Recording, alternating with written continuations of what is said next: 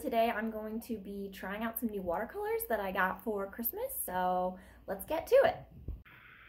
Alright, so this paint that I'm going to be testing out is from uh, Beam Paints. They are uh, actually a, an indigenous um, female-run business um, from Canada, I think. This woman, she was really fascinated by creating paints and pigments in a sort of traditional um, using traditional indigenous methods methods that like the Native Americans used. And so she kind of learned that I think I think she learned that from her parents. Anyway, she learned that and has basically built a business out of it. Um, and so I thought that was super cool and wanted uh, to try that out. So John very kindly got me some for Christmas, and it took a while to get here because of you know shipping stuff. But it's here now. I did already open it off camera, so sorry. Um, but I wanted to kind of show you all what I got and then do like some tests with it. So this is part of the packaging it came in, and then it has this cool little um, paintbrush that actually kind of it's this is a little mini travel kit. They have a bunch of different kinds of um, different kinds of paint different paint sets. This is a, like a little travel um, one of their little travel kits. So it comes with this cool little brush that you can kind of put in can take in and put out. It's all metal. Uh, the other cool thing about this company is that they strive to be kind of like plastic free and environmentally friendly. This my set came wrapped up in this um, this it's this pay or this is a piece of like canvas fabric that's been coated in beeswax, which is super cool. And then the actual paints themselves, oh, isn't that so pretty? Um, they're so they're these um these are this is their northern rivers collection and john got it for me because you know it's blue and i love blue and this particular one comes in this awesome shell part of what I love about it. And I think it came with a little bit of sage too, so I don't know what I'm going to do with that. But I think it's a cool touch. So I'm excited to try these out and like see how the paint handles. Alright, so let's put this here. Yeah, we'll do it like that. Okay. Got my little uh, paper towel off camera and my little uh, cup of water in my yogurt container. I actually usually use water brush pens, but I wanted to test the brush that came with the think first I'm going to just like swatch the colors to see. I learned that term from uh, YouTubers. I never knew known about it before, but then I watched a bunch of art, YouTube artists be like, I'm to swatch these colors. And I was like, oh, so fancy. So this is the first time I've used them, and it's pretty fun to use something that you know was like made by hand using traditional methods rather than like manufactured in a factory. So that's this kind of lighter blue. We've got this sort of ultramarine here.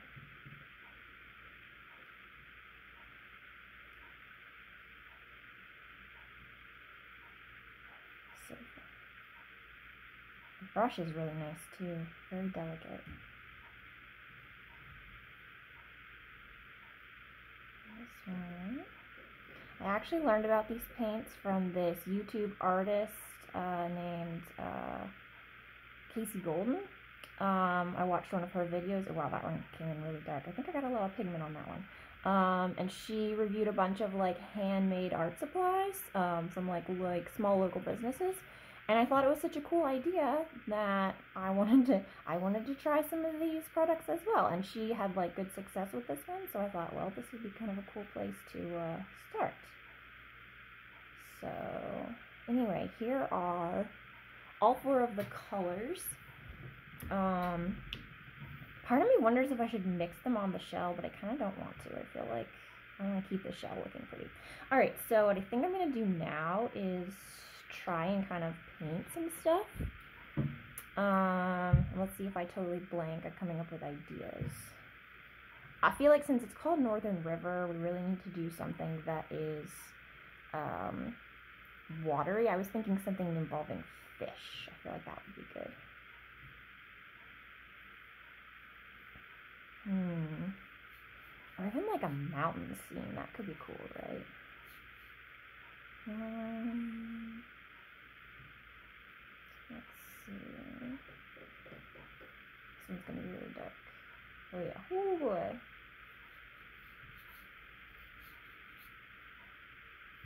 I might just throw color down and be like, see what happens. because, yeah. This is kind of blending more a little bit. Be cool. Let's try, I kind of want to try banana color. Oh, mountain. Little mountain business going on here in the back. How dark this. Oh, pretty dark. How does this, for some of them I feel like are more opaque than others. Like this one right here, I feel like is um, more of an opaque paint uh, versus this one I'm using right here, which it seems to be a little more translucent when I'm putting it down. Whoa, that's really dark. Whoa, maybe I just didn't have enough pigment. Who knows? Kind of cool though. I don't even, I cannot make any promises about how good any of this will be. But maybe I should stop making excuses and just, you know, paint.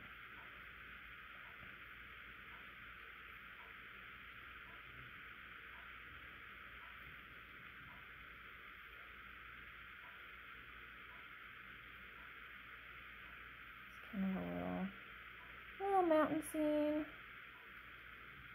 Little, uh, Hmm. Probably should look at references, but I thought about that. Like, I do feel like it's really important to use references when you're making art, but I also feel like there are sometimes it's just nice to not, because sometimes when you're using references, you get a little too stressed about like following it perfectly, and sometimes I'm kind of am in the mood to just kind of mess around with the colors, whether it ends up looking good or not. Um, kind of like now I feel like putting a little bit of this in here. That would be cool. Um, oh yeah, that's a lot more. So maybe my problem is I didn't get them out so quick as I could have. Um, what was I saying? Yeah, so so I feel like reference is really good and you definitely should use it. But there are definitely times when you feel like if you want to just depart from reference and just kind of go with what's in your head, I think that's okay too. I feel like it's good to just kind of I don't know, just have fun. There are some times when it's good to push yourself with art, and there's other times where it's good to just have fun with it. Alright, I'm gonna make some fish now. And my problem is that I tend to sort of push so much that I don't remember to just have fun. Alright, fishy fish. Of course, inevitably, this probably means my stuff won't look as good as when I do reference, especially if I'm not as familiar. I don't draw a whole lot of fish, so these fish might look really dirty. But, eh, that's okay. Oh, hi, Koji. I don't know if you can hear that, but Koji just, Koji, my kitty, just meowed at me. Are you going to come visit?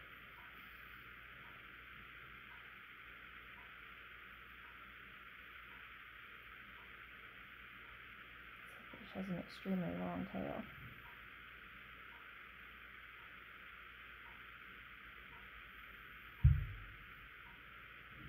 Hmm. Oh, okay. Well, that's fine.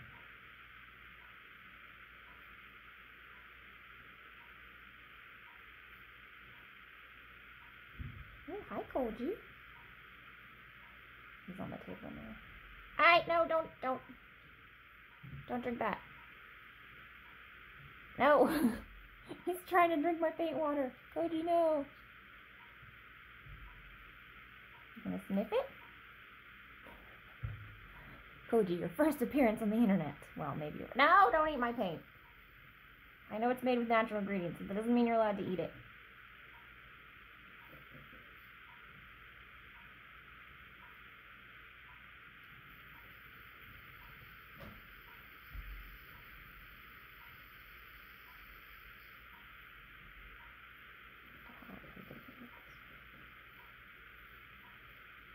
Yeah, I definitely feel like you can get these more opaque than I've been getting them.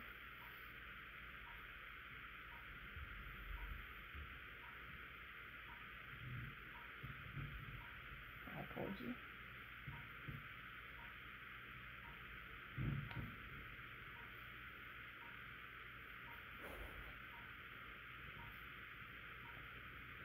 No, Koji, don't, no, no, no. Is trying to drink the water again.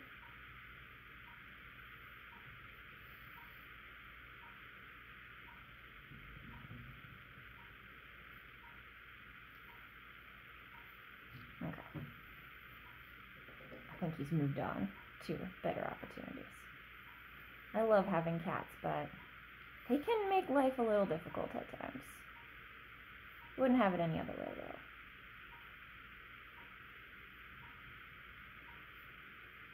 Uh,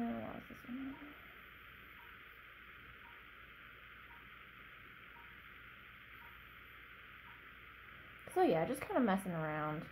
I don't know that any of this is gonna be like, I don't know.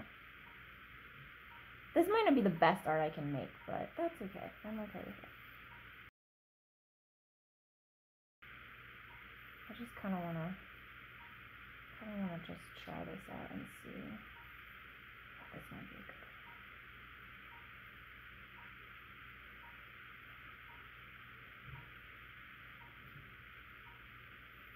I do like this paint though. Be interesting to see sort of how it. Does that even look like a fish? Looks cool, but does it look like a fish? Maybe I need to make the tail a little more fish-like. Make this a little more fish-like. I don't know. Maybe that doesn't. Maybe that works better. A little more. A little more. The fish didn't get out. They should get out of this.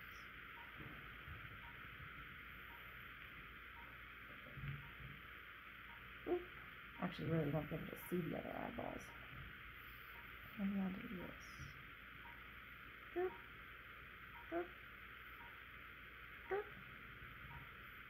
There we go.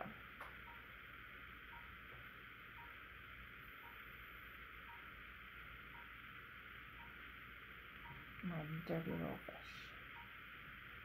This is nice though, I really do like this. I really do like this color kind of want to mess around with just blending it a little bit more in the corners.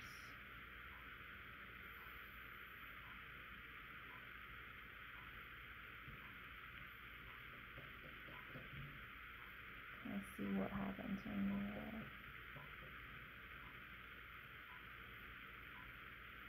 kind of slow that down.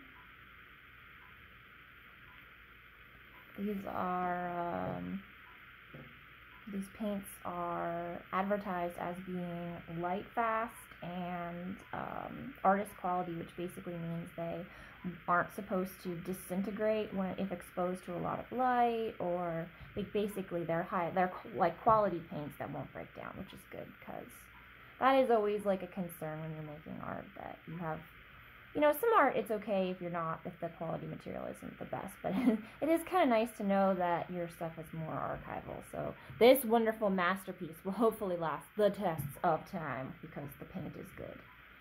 Can't exactly vouch for my skills in this moment, but at least it won't, you know, the paint has nothing to do with that. Having good paint doesn't always mean that you're uh, the best at making art. But at the same time, there's always room to improve, and it's nice to be able to have good uh, stuff to work with. So that's just kind of everything all blended together. It looks a little weird, but I don't know. I kind of like it. I have a little more room. I don't want to fill the page too much, though. Oh, you know what I should do? Okay, okay. Here's what we're gonna do. We're gonna we're gonna try and get a little a super diluted version of this. Like this would make a good, like a, need some clouds in here.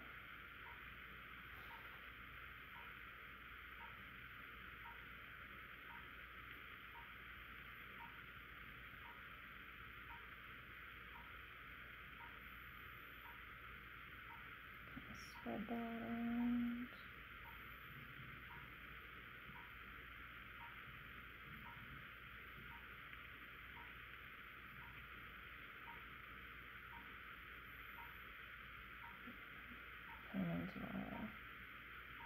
Bring over here. Put my hands not too much in the way. It's so funny using a brush and water. I haven't done that in so long because I usually use... I'll have to show the water brush sometime. I use it all the time. It's so useful because it has a little um, compartment for water in its like in in part of the handle and so you just never have to carry water in a cup anymore when you have that and it's super useful for um that's really dark there. it's super useful if you're um like on the go or you don't want your water to spill or if you're just lazy and don't want to uh, be bothered to like refill your water. Okay, I think I actually really like that. That looks kind of cool. The, clouds are nice.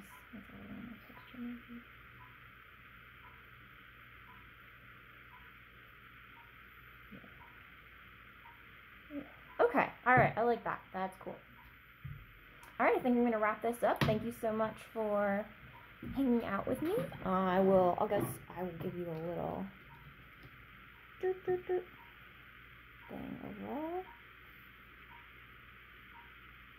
And, and if anyone is interested in checking these out, I will find the um, website for this company and I will put it in the link in the description of this video. Uh, till then, I will, I'll see you next time. Bye!